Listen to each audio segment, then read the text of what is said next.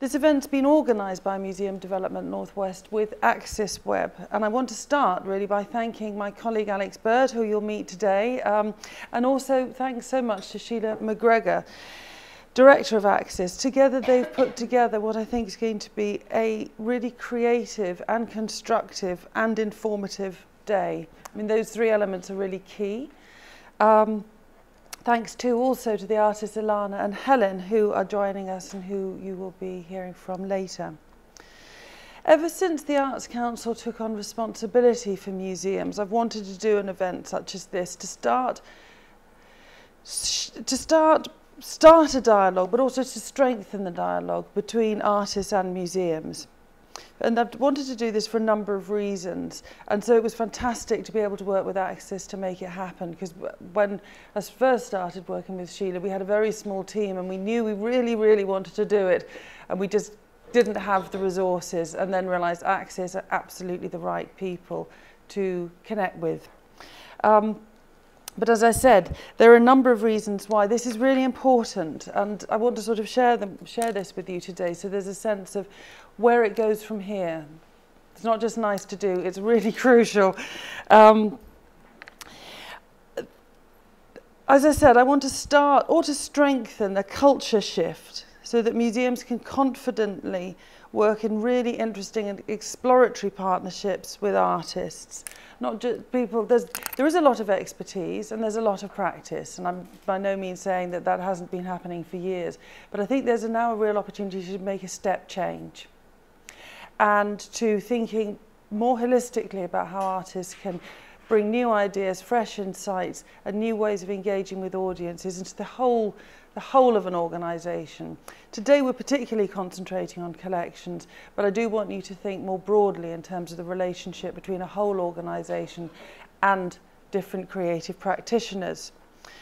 I think there's a real advantage for artists to think about museums and museum collections as extraordinary resources and context for their work. And not just the objects, actually, the people within them. And that's something else I want you to think about today.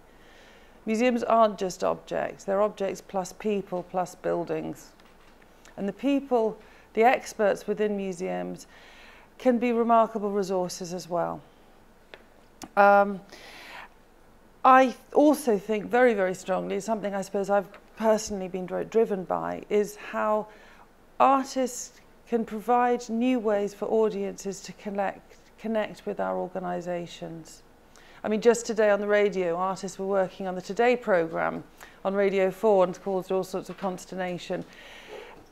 I think it's not just seeing that in a slightly cliched way of artists causing disruption. Artists can cause wonder, astonishment, surprise, familiarity, seeing something familiar from a different perspective, discovering something that had been hitherto completely overlooked, something very mundane and small. So I think there are lots of ways in which that exploration of artists in totality, sorry, exploration museums by artists can be very valuable for them in terms of their own practice. Um,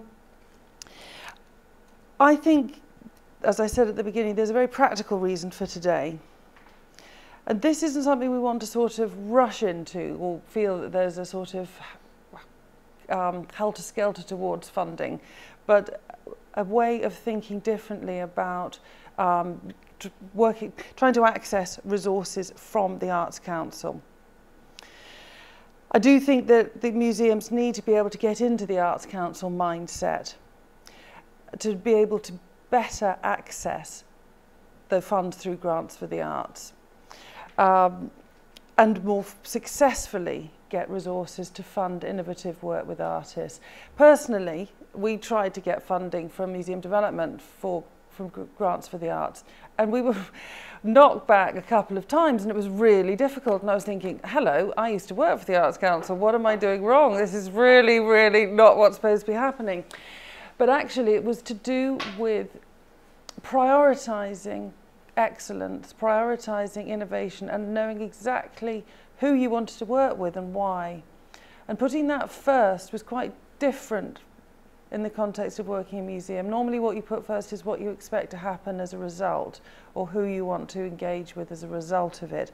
But stepping right back from that and thinking, no, we want to work with that person for this reason because they're brilliant and they will make us brilliant. I mean, I'm simplifying and slightly exaggerating to make the point, but that is a bit of a shift. And also in terms of resources, within museum development funds, we have the Sustainable Improvement Fund. And that, for instance, has very recently given support to the Williamson Art Gallery in Birkenhead. They said we want to have money because we want to go out to tender to get an artist to do this and we want it all done by the end of April. And we said, well, we're not going to give you money for that. What we will do is we'll give you some money to work with an independent curator to really think about the sort of opportunities that you've got and think about the sort of artists who would love those opportunities. And you're going to spend a little bit of time thinking about that before you do anything. And that will be, we hope, extremely, extremely significant in a couple of ways. We're also busy, we've run out of space to think. And space to think creatively. If you're up to here with problems and cuts, to think creatively and differently about your own organisation does take a bit of time and to have some additional resource and capacity in that respect can be very important. So that's why we opened that we sort of we supported that particular museum to think differently and we hope that will end up being a more productive um, process. So just to sum up really, I've got four things to share about today. I think it's about unlocking, unlocking ideas, unlocking collections, unlocking creativity and unlocking engagement. Today is going to be creative. Sheila and the artists are going to get you doing all sorts of things. To unlock the sort of thinking in our own minds about what we feel about museum collections. It's about relationships. It's about the relationships between you all. Hope you'll all meet people you haven't met before, share experience, share expertise. Because we also recognise, and Sheila was very good in reminding me of this, how much, how much expertise we already have here now. So don't lose the opportunity to talk to people and find out what other people know and so on and so forth. Really seize that. Um, it's also about the relationships between people and objects, and that will be something that Sheila explores, I think, in, in um, an activity. Um, it's about sharing, as I've said, lots of sharing. So please feel free, don't be shy. And resources. You've got an information pack which Sheila and her team have prepared with all sorts of things, with, including reading lists. They've brought along material for you to have a look at, some of which, most of which you can take away, but not the two lonely copies of the Engage publication about working with artists. So you can have a look at those and we'll work out a way of whether it's possible to get more of those. Um, resources in terms of please talk to Alex or myself about Museum Development Northwest funding. We don't have lots of money. We have small amounts of money that can make a small diff well no, actually make a big difference by doing a small thing. Um, grants for the arts. You will hear from the Arts Council later today, so feel free to talk to them. They, I don't know, they, are the Arts Council people here now? No, no, no. Okay, well, I'll say when the Grants for the Arts people have spoken and I've been there, they will tell you the process. It's quite difficult to have a bit of a sort of discussion about what if and what if and da da da da. It's a bit like this is how we work. So you have to kind of share, if any of you in the room have had successful Grants for the Arts bids, how did it work for you? How did you find the artist that, etc., etc., really, really capitalize on that. How did you make it work? Because I think it's a bit of a challenge. Um, but it's money that you, you know, is owing to you, is owing to the creative and cultural and heritage sector. Um, finally, in terms of resources, if you want to keep in touch with Museum Development Northwest, and that isn't really a question, that's a statement, you need to keep in touch with Museum Development Northwest. And Alex is the key to all of this. Particularly, he will tell you how to sign up to our blog and our website. We don't send out paper things at all anymore. We have a blog, we have a website which develops and changes and gets updated a lot. It's not as brilliant as it should be, but it will be getting a lot better soon. It's not bad, but it's the place to go to find out what we're doing.